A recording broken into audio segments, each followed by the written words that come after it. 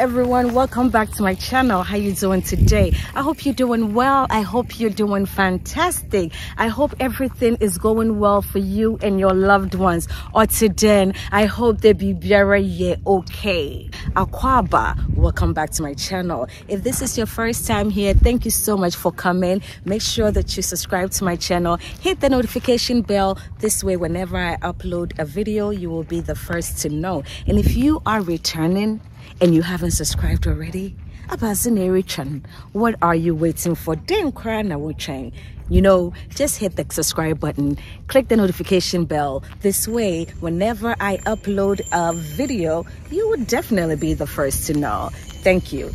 Now, I am sharing with you 31 things that I have learned while building a house in Ghana as a woman. Yes, I have learned so many, many, many, many lessons, but I am choosing to share 31 things that I have learned with you. Lesson number three. And today's lesson is about not paying more than 50% of the charge of the labor. Perhaps start off with paying 30% while the job has started. You know, let's just say uh, if the job is going to take 10 days, then maybe within the third or fourth day, you can pay a third of the labor cost. Because if you don't do that and you pay more than that, they're not that hungry they're not that hungry because they've secured, you know, or they've gotten more than 50% of the cost and they will go somewhere else, work over there,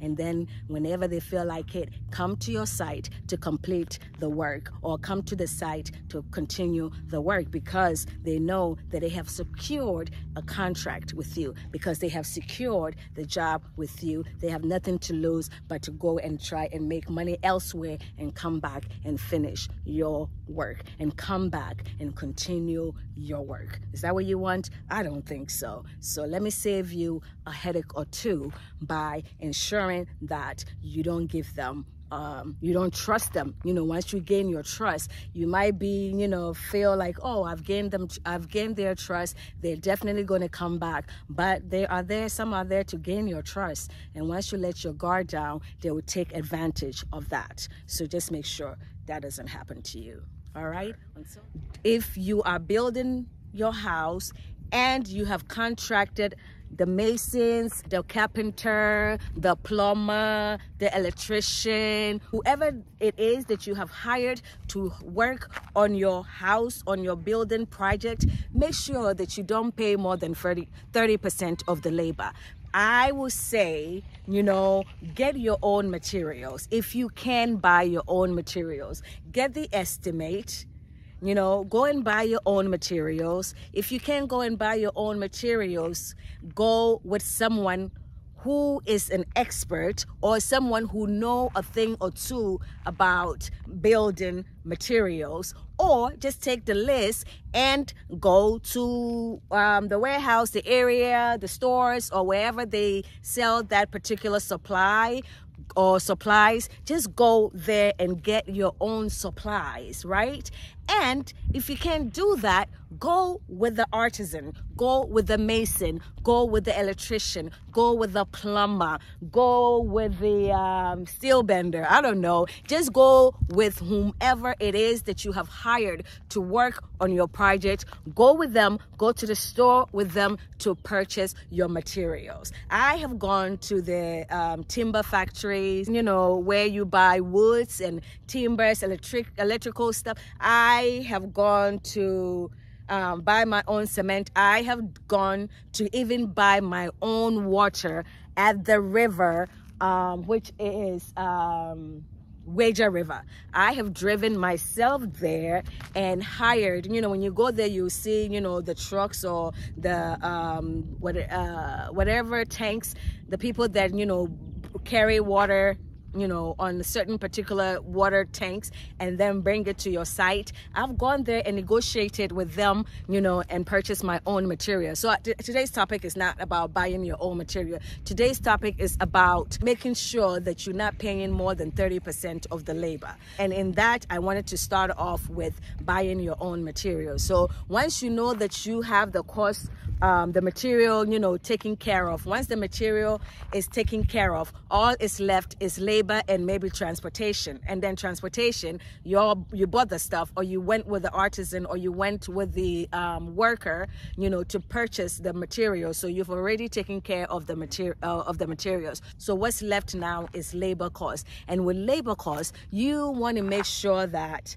they start the work or just negotiate with them have a talk with them tell them listen um, for this work that you're about to do how long will you take to finish the work and then say, okay, let's say three stages. Um, uh, let's just say if they say two weeks, okay, so the first three days, I'm going to give you, once you finish the first three days, I'm going to give you this percent of the labor. At this stage, I'm going to give you that percent of the labor. And then once the work is completed, I am going to give you the full balance, you know, the balance of the labor. Okay. So I'm right here in the jungle.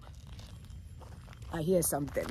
anyway, I was distracted. I digress. So I would say that um, start off, you know, once they start doing the work and you have seen that they have, you know, completed a certain percent of the work, then I would say pay 30% of the labor cost. So let's say the labor cost is a thousand cedis and they've worked on the project maybe five days or just pay maybe 300 cedis, you know pay 300 cedis of what has been done. And then from the next stage you pay the the next um the 33 uh, percent. And then once the job is completed then you pay the full the remaining balance. Once the job is completed then you pay the remaining balance. Because if you don't do that if you don't do that and you trust these people because some people may gain your trust. They will be the nicest people then you know the nice then they'll be the nicest person that you know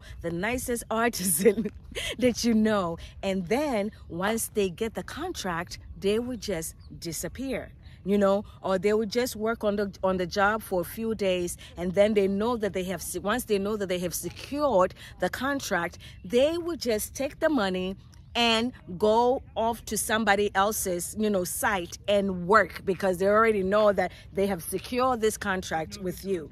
So if you've paid them 50%, they really, you know, don't care too much because they've gotten the majority of the money anyway. So why should they, you know, spend time working on your project when they can go somewhere else and work there and make money or they can go and get another contract somewhere and make money. So you just make sure that you don't give them more than 50% of the labor cost because they're not going to show. They may show up one the first day, the second day, the third day, but they definitely most of them. And let me not, you know, speak for everyone, but most of them, most of them, from my experience, will go somewhere else to do somebody else's job right? And some may even spend the night or spend the, you know, they will even sleep at your site because you've given them the contract. Some, you know, workers like some masons, you know, workers like to sleep at the site. So this way they'll get up early in the morning and work and not worry about, you know, coming to your site and not worry about taking transportation, you know, to come to your site. They're already there. So they wake up in the morning, freshen up, get something to eat, and then they will start working. You know, so a lot of them will spend the night and work on your site, which I don't mind. If you're working on the site, I rather, you know, um, if it's possible, if it's necessary for you to sleep there, I, I don't mind doing that if it is feasible. This way you get up early in the morning and you get more done that way. However, if you pay them 50% of the money, most of them will stay at your um, your site, spend the night at your site, get up in the morning and go somewhere else or go look for work somewhere else. And then every other day, every two days, every three days or so, they will come and work on your site. So definitely make sure that you are not paying them more than 50%. So pay them in stages. Make an agreement with them in the beginning so that everybody understand that this is what we're dealing with. This is the agreement that we are dealing with so they don't devi deviate from, you know, the agreement or breach, you know, the the contract that you have written down for them, right? So definitely pay in stages. Buy your own materials. Make sure that you don't pay them the full amount. That because just this, this has happened to me before. I am really speaking from experience because it has happened to me not one time not two times several times. A lot of people will gain your eh, they will gain your trust. And the thing is if you let your guard down if you just feel like oh you know feel so compassionate and just work with your emotions and just like oh this person is so nice it's so cool. Trust me once they gain your trust a lot of them will break your trust. A lot of them will break them and then you will end up feeling like wow i trusted this person. They come and work at my site and then they won't show up um, they you know they won't show up for one two three four days or at a time and they will go and work in, at somebody's site while you are waiting for your work to be completed. And especially if you're not there. Let's say that you live outside of ghana and you send the money home for someone to you know uh, work on your project or work on your house. My friend my friend, my friend. That is even when they will try and go and work on somebody's site instead of your site because you're not there to chase them. You're not there to police them. You're not there to supervise them. And even if you've hired someone to supervise them that person may not be there all the time. That person may not be there 100% of the time. And therefore they will take advantage of it and go and work somewhere else and then show up at your site whenever they feel like it. Whenever they need you know um, money then they will show up at your site. So make sure that you really write up a contract, you talk to them, you know what you're dealing with, you make an agreement with them, and then you let them understand that, listen, I'm not going to tolerate this behavior. This is how I work. And if you want to work with me, I expect you to abide by my rules. And this is how we are going to handle this project you know i understand that some you know things happens beyond your control. I understand that and i will take that into consideration. However when you're here to work you're here to work. You know i value you know uh, good work ethics. You know, some of them don't have good work ethics. So just understand that if you give them more than 50% of the money, some of them, even a third of the money, they may still, you know, go somewhere else and work on someone else's site or house or whatever, and then come back to you later. Yours is secondary matter at this time because they have secured the contract with you. They know that you have hired them. You're not going anywhere else. So, just have an agreement with them and make sure that you know um, you don't pay them uh more than 50% of the labor cost for example, some of my masons will spend the night at the site and work, you know. Even when I'm there, you know, I'll just let them stay in the summer hut and then work, you know, this way we'll get the job done quicker. But even when I was there, down the street from my house i guess someone saw how they were working at my site how busy they were and everything and called the lead mason you know the the whoever was in charge you know of of the laborers and then say hey can you you know do something at my site for me? Blah blah blah whatever you know agreement they made. This guy left my site. I'm like where is he? I haven't seen him you know um, throughout the day. I was busy going out and, you know, going in and out, you know, running errands. And then I'm like, where is, where is, I mean, some of his artisans were there, but he's, the main guy was supposed to be there to supervise them, but he wasn't doing that you know, not knowing that he was working like four houses down the street. Four houses down the street, he was working over there while he was supposed to be at my site working and also supervise the people that he had brought to work with, you know, and has taken even two of them to go with him to work there. So, you know, they just said, oh, we're going to go get something to eat or whatever, you know. Sometimes they just leave the site and just take a break, go and do whatever it is that they will do, you know, take a break and then come back and start working. But this guy, I found out, was working like four houses down the street. And then when I find out, I'm like, hey, aren't you supposed to be working here at my side? What are you doing over there? Oh, you know, the guy just said, you know, if I can do something right quick, blah, blah, blah, blah, this, this, this, whatever it, whatever it was that he was saying did not make that much sense to me. So we had a talk and I told him if this happened again, I'm not going to work with him.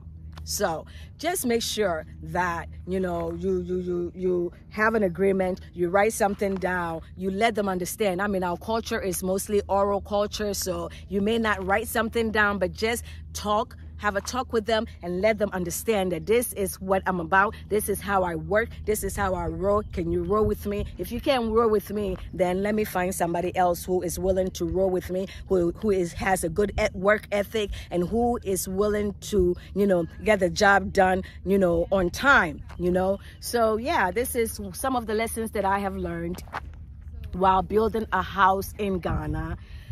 Make sure I know I sound like a broken record, but this is so true. You know, this is so true. Don't give them contractors, don't give them most of the money even even abroad you know when you give a contractor more than 50% of the money a lot of them, even here, even even outside of Ghana, some of them will do the same thing. So I'm not saying that this only happens in Ghana. This doesn't always happen in Ghana, but majority of the time it happens. You know, eh, I would say, you know, a lot of the time it, ha it happens in Ghana because you really can't chase them around. A lot of them have two phones or two SIM cards, and they can just easily switch, you know, their SIM card and be using the other number. And you call them and call them and call them, chasing after them, asking them where are you? There and they are nowhere to be found because they have another phone that they can use. So, so they're not worried about you. Okay. So yeah, so these are some of the lessons that I have learned while building a house in Ghana that I want to share with you. Let me know if there's something that you want me to talk about.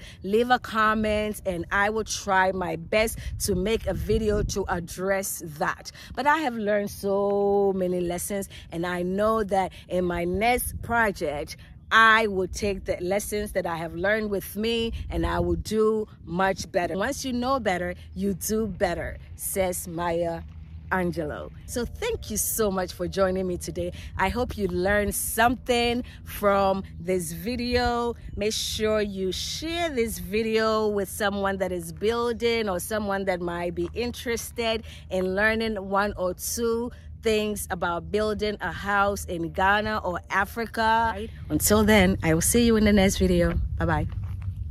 Well, this is all I have to say about lesson number three. But if you want to listen to more of my ranting, continue to watch. I have been hiking around for like almost 10 miles. Now, let me show you a little bit of my surrounding. As far as your eyes can see, there is nothing. I am on top of the mountain, not the very, very top, but I'm very, very, very high. Yeah, yeah. So I'm very high up on top of the mountain and I'm just deciding to make use of my time. This uh, tripod that I have is so tiny. When you fold it down, it comes about this high up. So I just usually put it in my backpack right here and I carry my backpack with me. I have my things that I need, first aid kits, water, and everything in here. So as I'm hiking, I have decided, you know, to just record a video, one or two videos while I'm here and share it with you. The sun is beaming, the weather feels good. It's gonna get even hotter, uh, maybe an hour from now. So while this weather still feels nice, I, I thought about you and I said, hey, you know, let me share a lesson or two with my subscribers or viewers about lessons that I have learned while building a house in Ghana,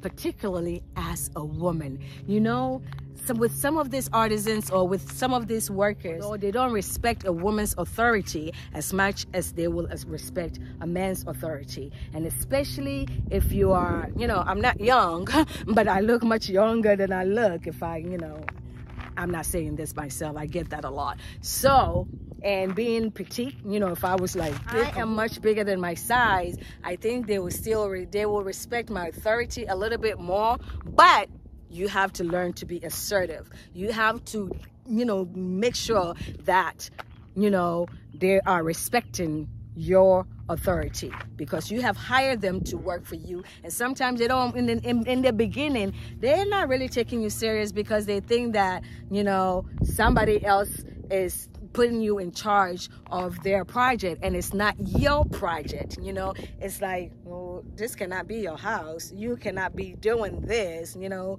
Whose work is whose house is this? Is this your father's house? You know is are you working on your father's house? Are you hiring us to work on your father's project or or maybe your husband's i don't know. But i like to be nice to people but i like to be very assertive and i like to let them understand that look do not take my size. Sure. you know just make sure that you are assertive but you know nice. Get your point across in a, in a nice but assertive way. And um, let them know that you are not to be taken for you know granted and they should not underestimate you. Okay? It's so good to get out in nature and move your body. Just move your body. Get out there you know i just love coming to nature just love hiking i love um, I love hiking. I love climbing mountains. I love going to the mountains. I love going to the beach. I just love to be in nature. You see this person behind me. They are just biking and enjoying themselves. So just get out there. I walked about seven miles, seven miles from home to these mountains and then once you get up you can just go for miles and miles and miles and miles probably to Malibu.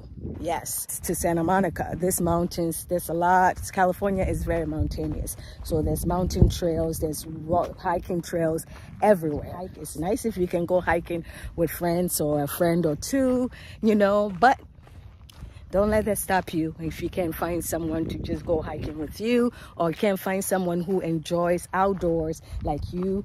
If you can't find someone who enjoys nature like you just you know be out there. You might but the point is get out to nature and walk. I'm going down the hill going up any mountain or going up any hill is not easy but going down is a breeze and it feels good. And that is exactly what i'm doing. Now i have about seven miles you know to go to get home but it's okay.